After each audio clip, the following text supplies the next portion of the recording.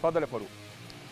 مرحب بيك يا كابتن أيمن كل التحية ليك وكل التحية لكل مشاهدينا مشاهدي ومتابعي شاشة قناة النادي الأهلي في كل مكان. من جديد بيعود النادي الأهلي لبطولة الدوري المصري الممتاز.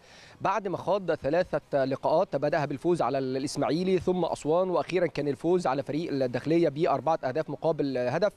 يعني خلال الفترة الماضية كان الأهلي خاض لقائه الأخير أمام فريق المقاولون العرب في دور الثمانية لكأس مصر نسخة الموسم الماضي.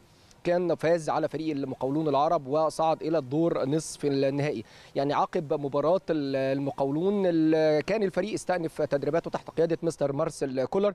الجدية والتركيز اللي إحنا لامسينه على اللاعبين طوع سريعا الفريق صفحة مباراة المقاولون العرب.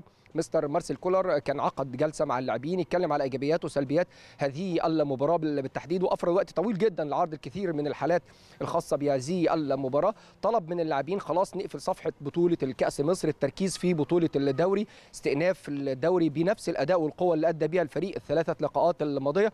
خاصة إن المباراة النهارده واحدة من المحطات الصعبة جدا لفريق النادي الأهلي في مشواره خاصة اللي بيزيد من صعوبتها إن هي بتكون المباراة الأولى للكابتن محمد يوسف المدير الفني الجديد لفريق طلائع الجيش اللي طبعا تولى المسؤولية خلفا للكابتن علاء عبد العال منذ 30 يوم يعني مستر مارسيل كولر خلال الأيام الماضية في. الفريق بيستأنف تدريباته على ملعب مختار التتش بالأمس كان المران الرئيسي للنادي الأهلي ركز مستر مارسيل مارسيل كولر على بعض يعني الجوانب الخططية والفنية الخاصة بهذه المباراة. طبعا خلال هذه الفترة كان اتفرج على مباريات فريق طلائع الجيش ويعني أشاد واحد من الفرق القوية جدا في في بطولة الدوري.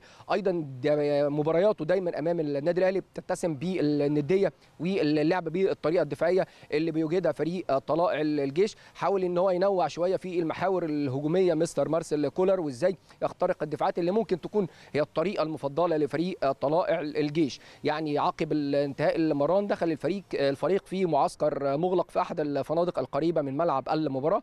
بالنسبة اليوم النادي الأهلي كان انطلق في تمام الساعة العاشرة صباحا بتناول وجبة الإفطار. طبعا اليوم النهارده هنا في مقر إقامة فريق النادي الأهلي وجبة الإفطار في تمام الساعة العاشرة. ثم كان التمرين يعني الاسلوب المتبع والمعتاد من مستر مارسيل كولر يعني إقامة تدريب خفيف للاعبين قبل المباراة. كان في تمام الساعة الثانية عشر يعني صباحا ثم وجبة الغداء. كانت في تمام الساعة الثالثة والمحاضرة الفنية لمستر مارسيل كولر كانت في تمام الساعة الرابعة والنصف. طبعا مستر مارسيل كولر بيركز على بعض الأمور الفنية والخططية إن شاء الله في هذه المباراة. خلال المحاضرة طبعا بيعلن من خلالها التشكيل اللي هيخوض به أحداث اللقاء. على الجانب الآخر يا كابتن أيمن عايز يعني أنقل لك برضو استعدادات فريق طلائع الجيش لهذه المباراة. يعني اللي زي ما قلنا تولى المسؤولية الكابتن محمد يوسف واحد من أبناء النادي الأهلي. المسؤولية خلفا للكابتن علاء عبد العال. دخل معسكر مغلق خاض خلاله خمس مواجهات.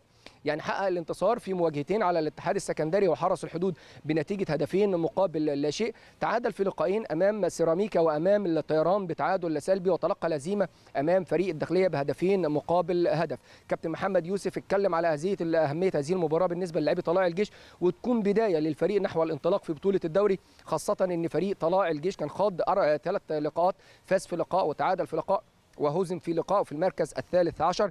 النادي الأهلي النهارده الدوافع والطموحات مهمة جدا. لعب النادي الأهلي إن الفوز النادي الأهلي يعتلي بالنادي الأهلي صدارة جدول الدوري بمشيئة الله. عايز أقول لك إن طبعا غيابات النادي الأهلي في هذه المباراة زي ما اتاكدنا غياب طبعا محمود متولي ومحمد عبد المنعم للإصابة طبعا بالإضافة إلى أيمن أشرف وعمار حمدي. بأكد لك جاهزية وعودة حمدي فتحي في هذه المباراة. طبعا لجنة الحكام كانت اعلنت طاقم تحكيم لهذه المباراة بقيادة الكابتن محمد عادل بيعاون يوسف البساطي نور الدين سعيد الحكم الرابع أسامة إسماعيل. اثنين على تقنية الفار في هذه المباراة وائل فرحان وأسامة عبد اللطيف.